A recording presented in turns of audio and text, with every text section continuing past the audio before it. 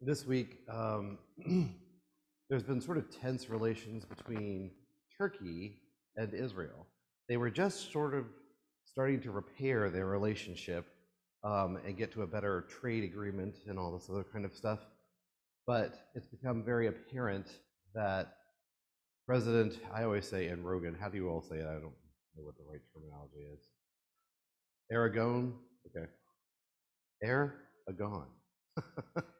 um, Aragon and him um, have been trying to play nice in public, but in the background, Hamas is actually being funded right out of Turkey in Syria against Israel. So um, I'll read the first part of it. President uh, Aragon uh, insists that Hamas activity on Tuesday is strictly political, but Israel's security establishment is warning otherwise. Um, and that's the, the byline after that.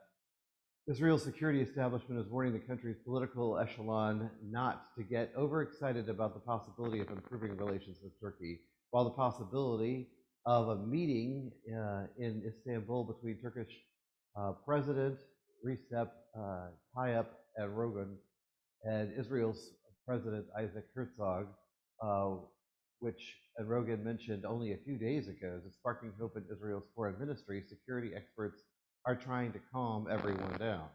The defense security and security apparatus is keeping tabs on the latest romance with Turkey, which used to be Israel's uh, strategic military and intelligence partner, but which is in the past decade opened up arms to Hamas and other branches of the Muslim Brotherhood in the Middle East. Officials are worried that a number of uh, understandings and agreements between Israel and the allies, such as Egypt, Greece, Cyprus, would be affected if Jerusalem moves towards Ankara. Um, yeah. Uh, did this shift in Turkey just start with this leader Erdogan, or it was this start before him? Before him. Okay. So we're going to look at a timeline of the relationship between Israel and Turkey. But what country are they represented in the Bible? Anybody know?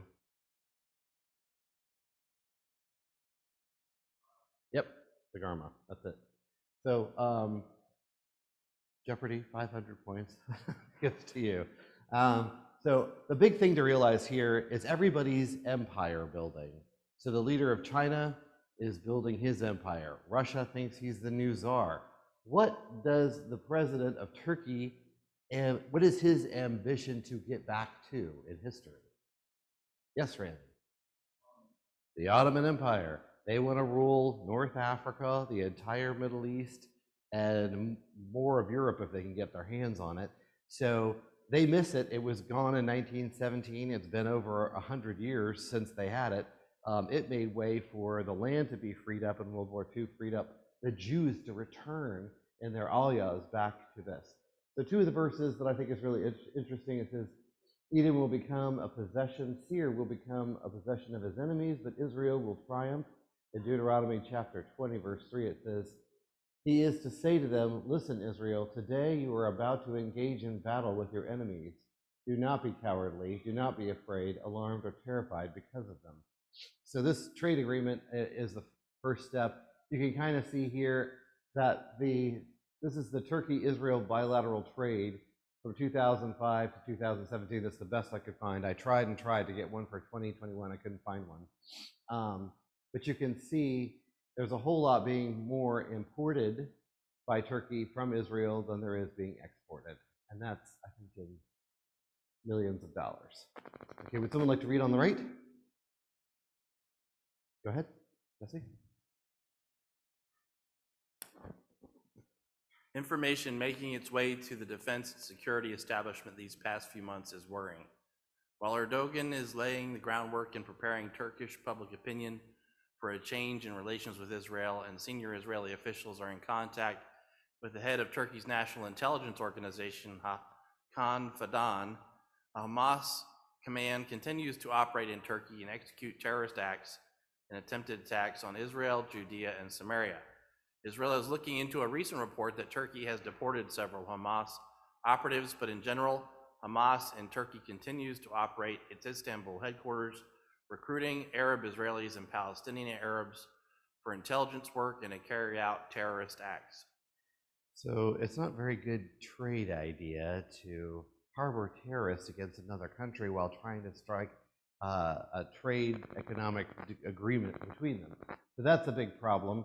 Um, the last part down here says senior Hamas member uh, Salia al Aruri um, from Turkey, uh, supposedly deported Israeli request, continues to, to um, handle its people there and even organize training and target practice in Turkey. The possibility that Turkey and Israel could resume uh, cooperation on intelligence is also causing some misgivings. Israel used to be worried that Turkey handled Israeli information over to Iran. So uh, the isolationism of Israel in the Middle East is still happening, and I think that's one of the prophecies that we're kind of looking for. And for Turkey to basically, they want to broker an agreement. This is what they put themselves forth. I, did, I didn't put this article in here because it was just too much. But Turkey wants to broker the peace agreement between Ukraine and Russia. And I'm like, really? I'm just very surprised they want to stick themselves into the middle of it because they shot down one of their planes, if you remember. So foreign media reports claim that Turkey was exposed to the uh, identities of local Iranian agents who met with their Mossad handlers and former Israeli uh, Prime Minister Ehud Barak used to say that Saddam was pro-Iran. The fact that a few leaders of the Turkish defense establishment today are identified as Muslim Brotherhood members, along with Turkey's ties with Iran, does nothing to boost the low level of trust between Israel and Turkey. So it's becoming well apparent to the rest of the Middle East as well. Um, can someone read the one on the right here? Um, Casey? Only a month and a half ago, the Israel security agency Shin Bet arrested four members of a Hamas cell in the village of Zarif near Hebron.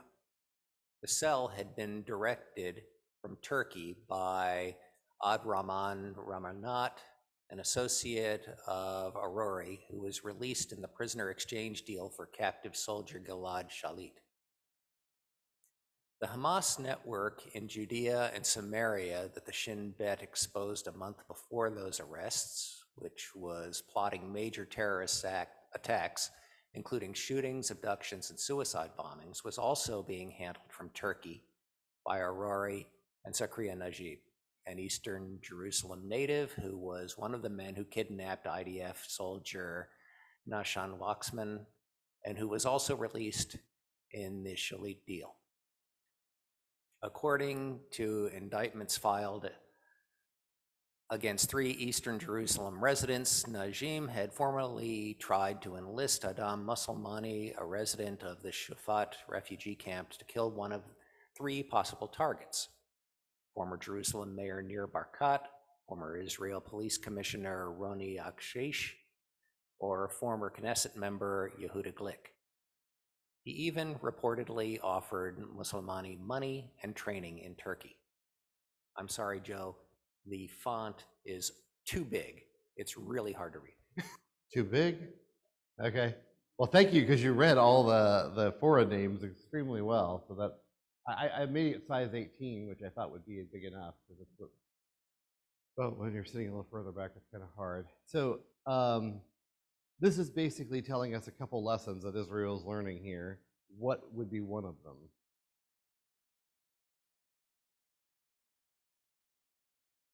Go ahead, Randy. That their enemies are operating from Turkey. Right.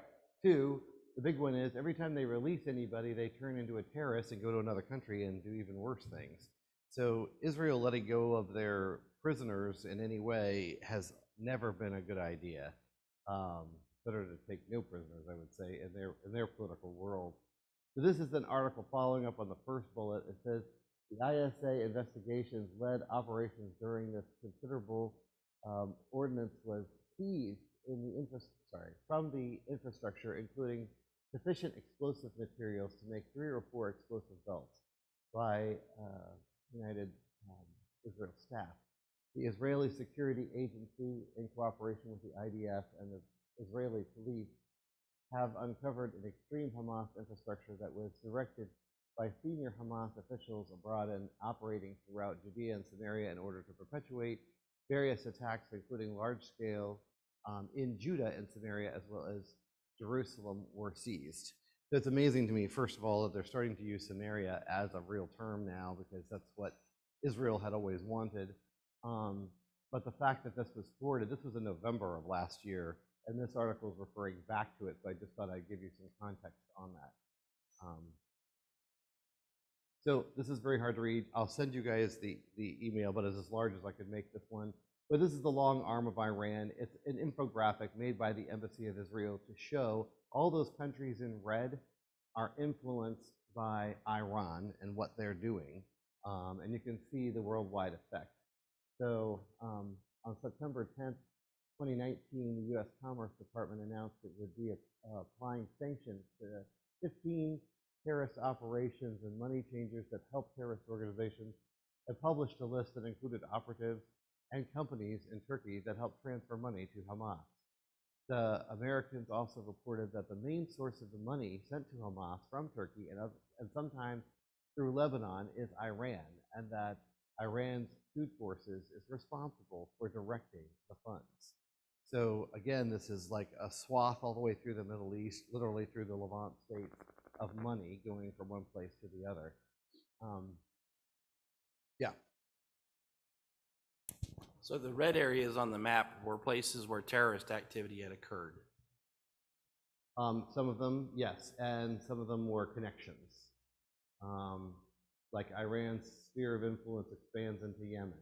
Out of Iran into Africa, Hezbollah scrambles for Africa.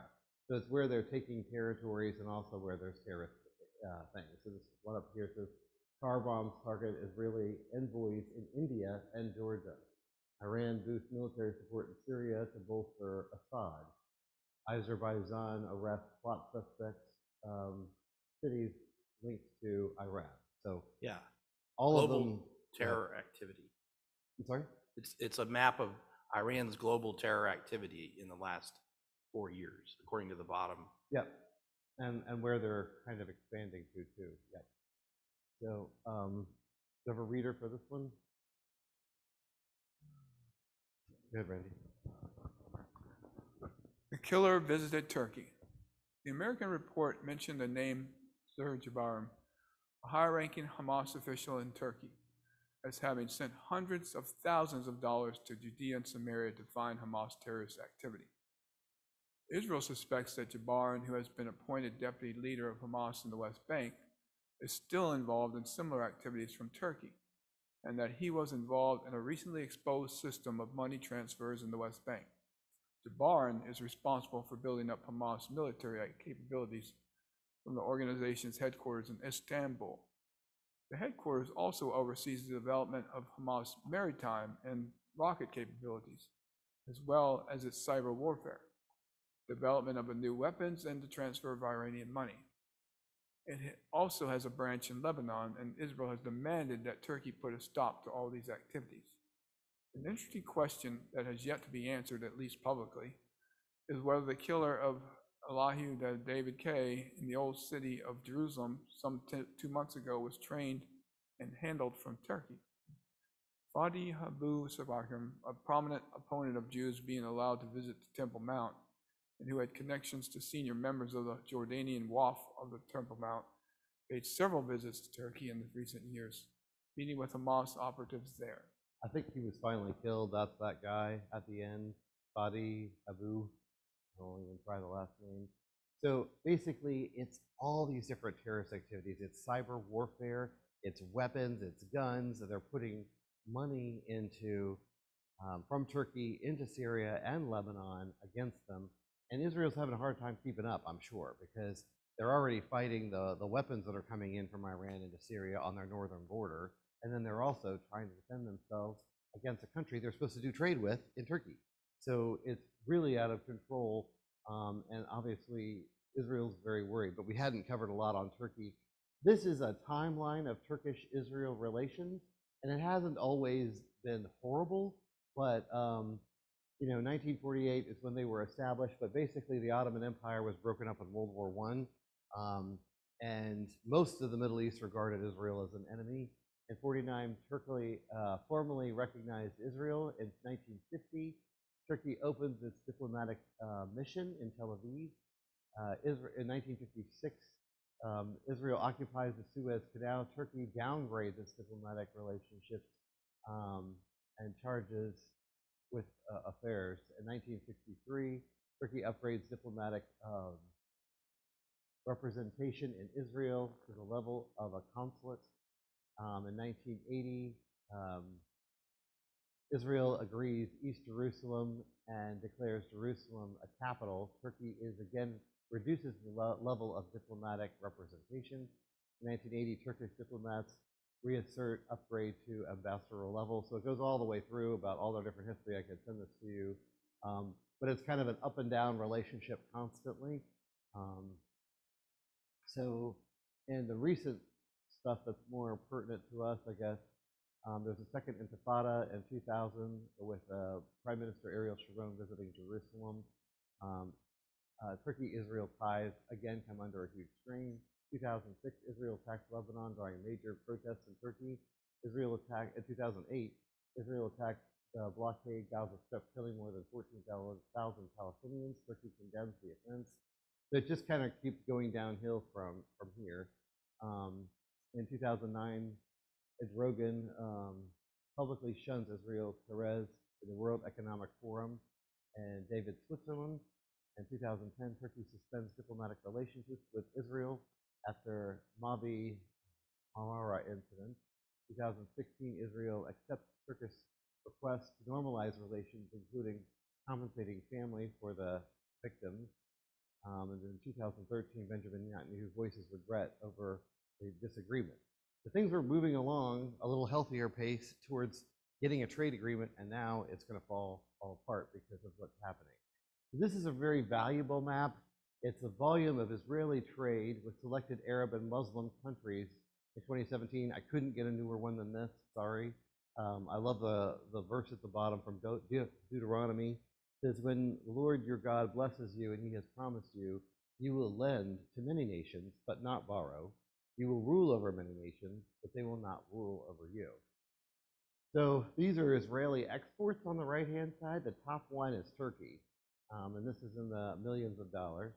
And then Azerbaijan is number two, then Nigeria, Egypt, um, Indonesia, Jordan, Kazakhstan, Morocco, Uzbekistan, Senegal, uh, Cordo, can't remember how to say that one, the lime green, Malaysia, uh, Cameroon, Turkmenistan, and Gabon. So, and these are where they import from, and there's a good amount from Turkey as well. So, um, you can see they would have had a very good relationship as far as trade is concerned, but this latest incident is going to cause a big problem, and it'll probably disalign Turkey from the rest of it. I think this one's really helpful. It's hard for us as Americans to really understand who has good relations, who has bad relationships between countries. So all the countries are listed on the top row and they're listed on the side, and the diagonal hash marks are where the same country is talking about itself, so you can read them out. The ones I kind of wanted you to pay attention to is Israel's um, in relationship with their other um, friends. So out of all of them, there's only two, which is the United States and Egypt, that Israel has uh, a good relationship with. If you look at the circle in the third column, two up from the bottom, where Turkey and Hamas, it's the only country they really get along with, which I thought was rather rather interesting.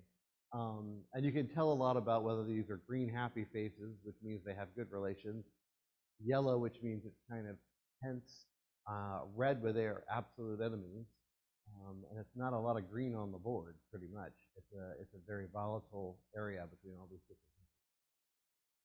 Does anybody have any questions about this or comments? If something you notice, let me know. Okay. Um, did that one. We have to go. Okay, here we go.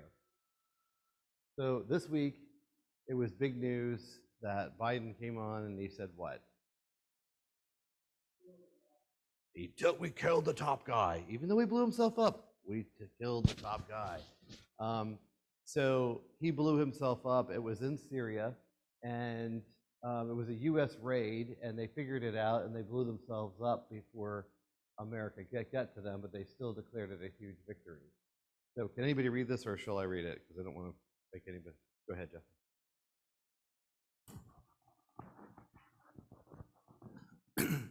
Sorry.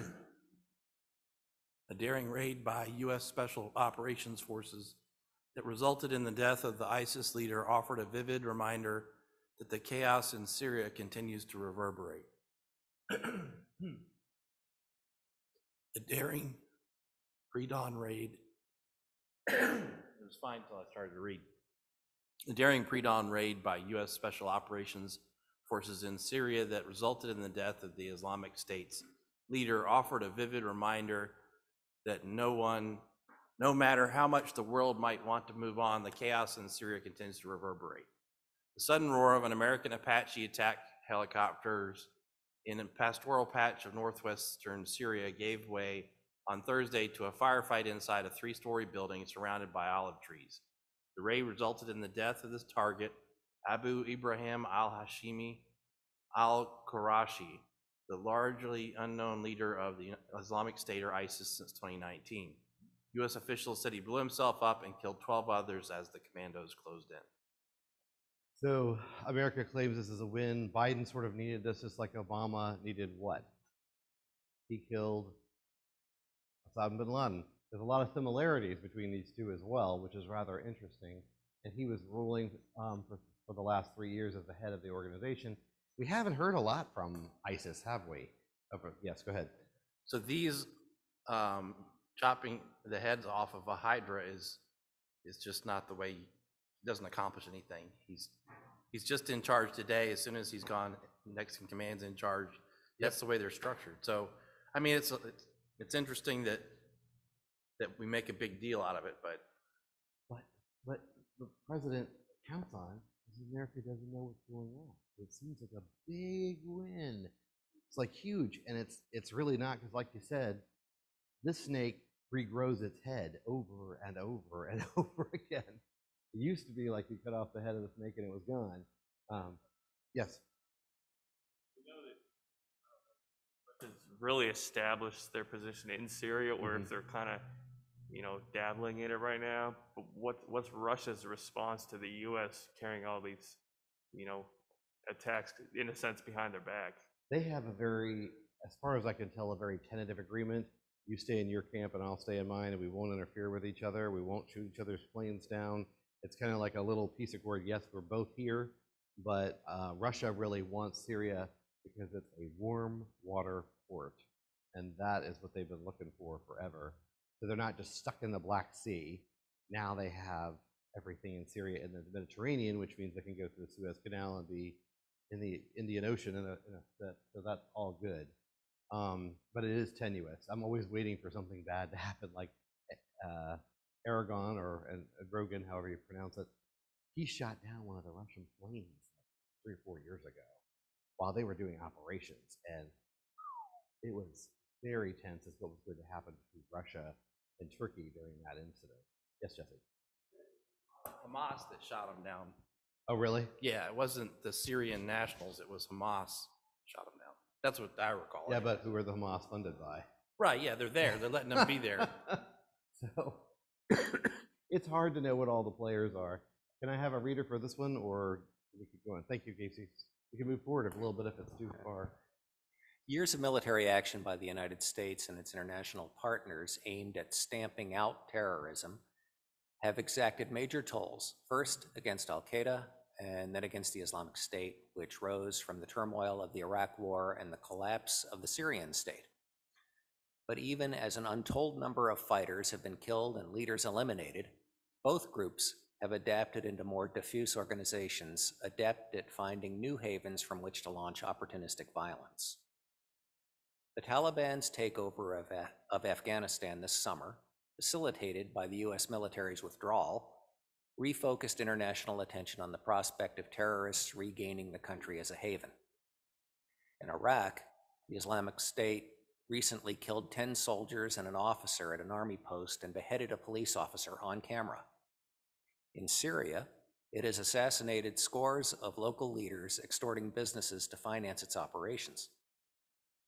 In Afghanistan, the withdrawal of American forces in August left the local Islamic State affiliate to battle the Taliban, with often disastrous consequences for civilians caught in the middle. The recent attacks by ISIS, said Mick Mulroy, a former top Pentagon official and retired CIA paramilitary operations officer, indicate that ISIS is not done fighting, nor is the US and our partners. So it's shifting turf, and every time there's a power vacuum, what happens? When there was a power vacuum in Afghanistan, what happened? They do. And when there's a power vacuum in Syria, what happens? It's like an abscessed tooth. It gets infected and it terrorizes the whole region around it, and everybody hurts. So I think that's a pretty good analogy for what's going on and why these organizations are all linking up against Israel. Um, and they're being funded underhanded. So does everybody know what proxy war is being fought between Iran and Saudi Arabia right now? Yemen. And it's been horrible. Did we hear about it in the United States? Hardly anything.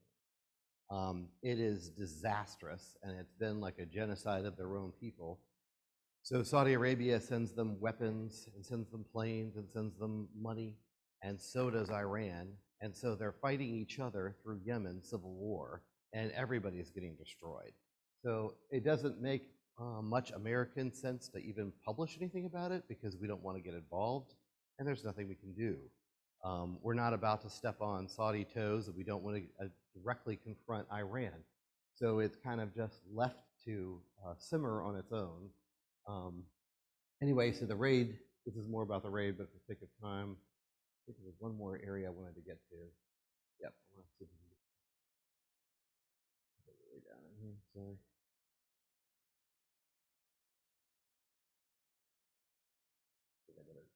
Faster, just do it this way.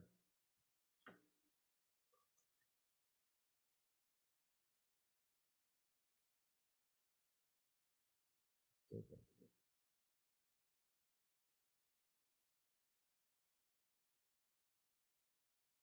Okay, um.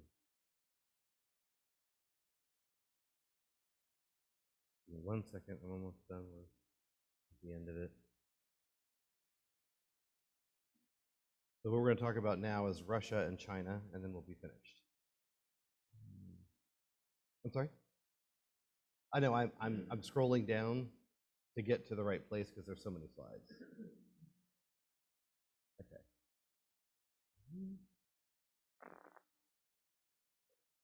So, a couple weeks ago, I told you there was a, a partnership developing between China and Russia. China wants Taiwan. They want the North China Sea. They want to make sure it's internationally recognized. The whole Pan-Pacific area has been firmly against this, including Australia, New Zealand, um, India, Vietnam, um, Laos. All these different countries in Southeast Asia are pitting themselves against China because what are they doing?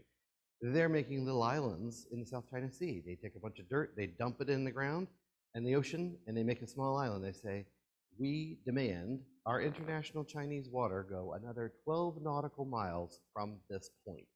So slowly, like a chess match across the North China Sea, they're creating these little islands that mean nothing so they can claim more international territory. So I want you to understand that first of all, because it affects international trade with Korea, Japan, New Zealand, Australia, and everybody else. Um, so what's going on now is little deal in the back room where Putin says to China, you help us with Ukraine, our problem.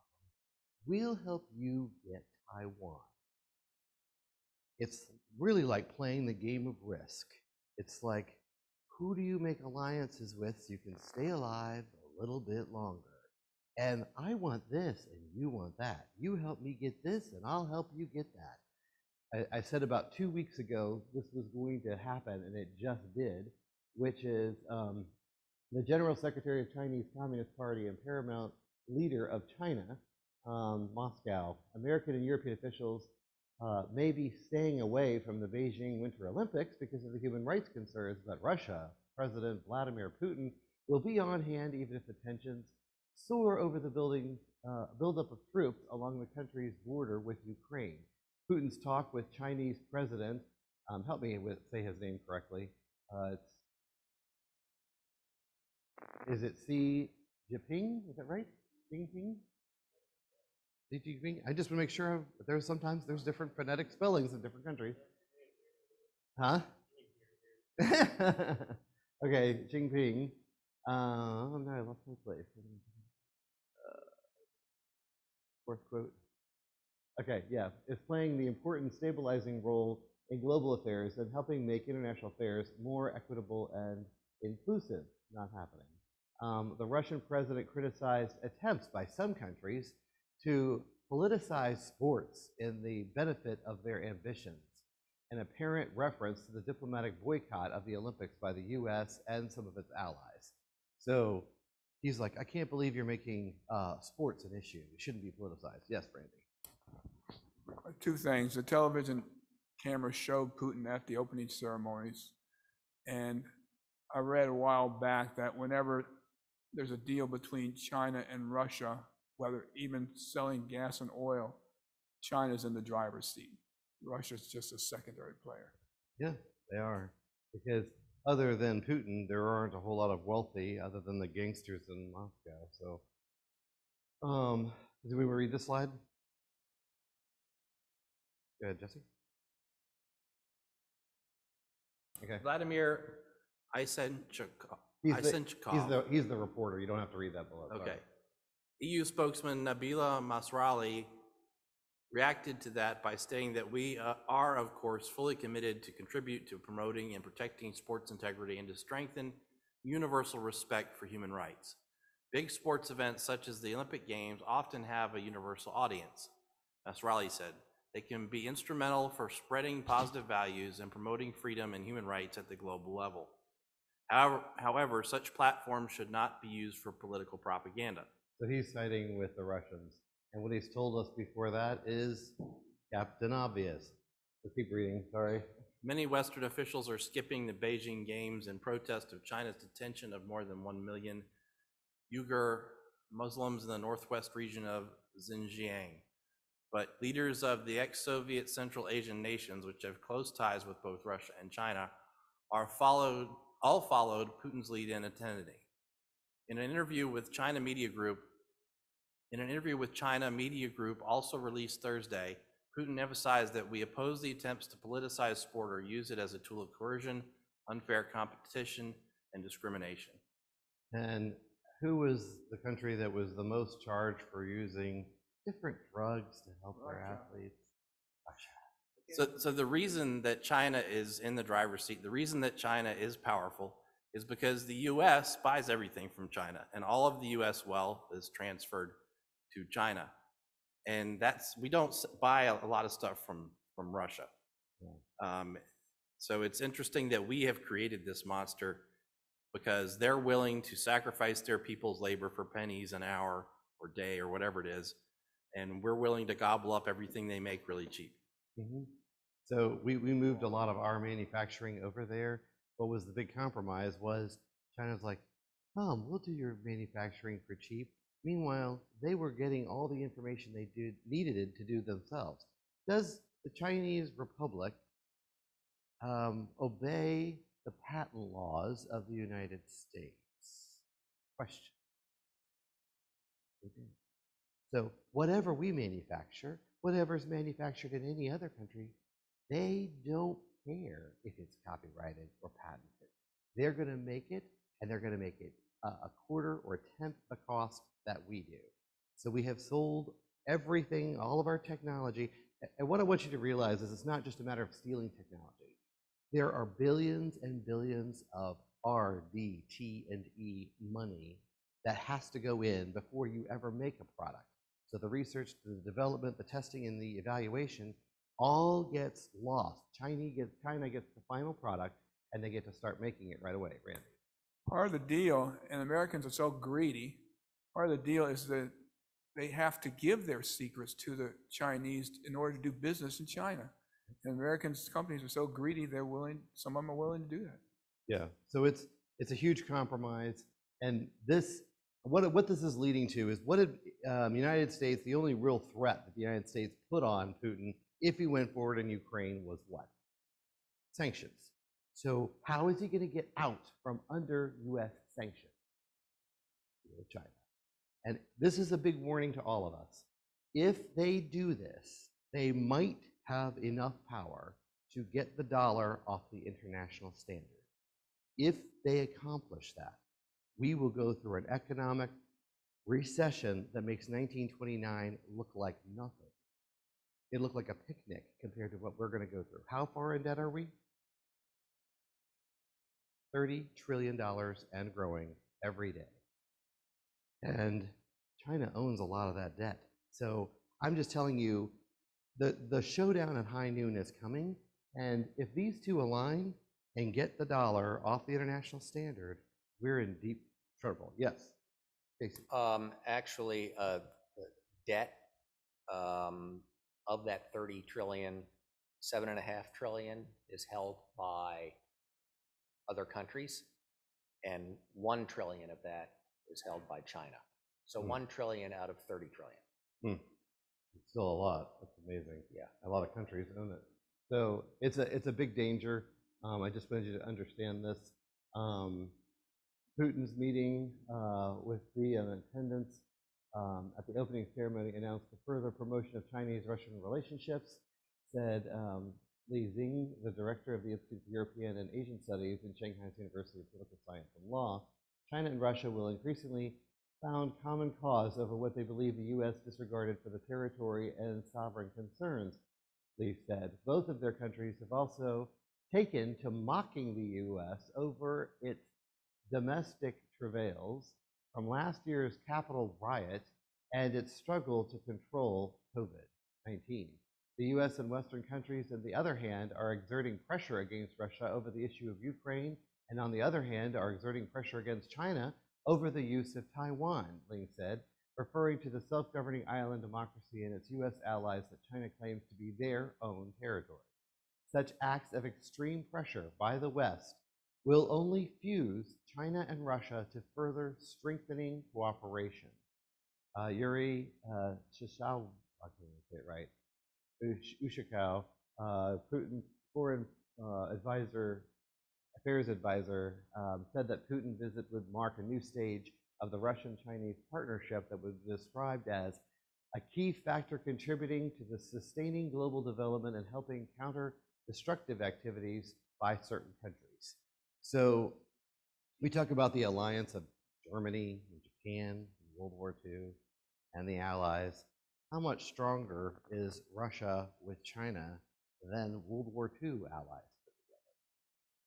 Um, it's a much more serious threat um, and very dangerous for us. And they're making fun of the US. And the US is one country trying to make this happen with a bunch of smaller partners who can't agree on what to do. Not anybody in the EU can agree on how to respond to Ukraine, and they're not really that willing to help Taiwan either. So here's what's going on in Ukraine right now. Um, this is more about what's going on, but I wanted to show you this is the country of Taiwan. It's just off the coast of China. Um, and so this Taiwan Straits that you see here to the left of the island is part of the whole conglomeration of the North China Sea that China is trying to control. So if they can't take over these countries, they're going to take over the, the waters, so they can't do international trade. There's a lot here, but I want to stop on time. Um, I'll just read this one. So Russian President Vladimir Putin and China uh, and Russia would resist Western sanctions pressures on every opportunity on the eve of the revival of Beijing to the Winter Olympics. Um, in remarks given in the Chinese state media ahead of the arrival, Putin also said that the two nations were to concur or are really close on most international issues, and their ties are um, not influenced by ideology. We are considering expanding settlements into national territories and creating mechanisms to offset the negative impact of unilateral sanctions, he said in an article carrying his which is Byline, um, which was published by the state news, news agency Xinhua on Thursday. Putin did not name any third country, but Moscow and Beijing have been standing together on a range of issues, from the diplomatic boycott of the Games by the U.S. and some of its allies to Russian tensions with Washington over and NATO over Ukraine. In this article, Putin highlighted last year's 20th anniversary with China-Russian Friendly Relations Treaty, saying that the cooperation is on an equal basis and free from political and ideological circumstances. So I like this little editorial cartoon down here. You got the American eagle flying away and the Russian bear and the Chinese panda together. So um, any, um, this is another picture of the area. So any other questions or thoughts that anybody wants to share? We're just living in very exciting times, and there's certainly a lot happening on the world stage that is rearranging political maps. So there's a lot of empire building, and things for us might change very drastically in the next year. Yes, Randy.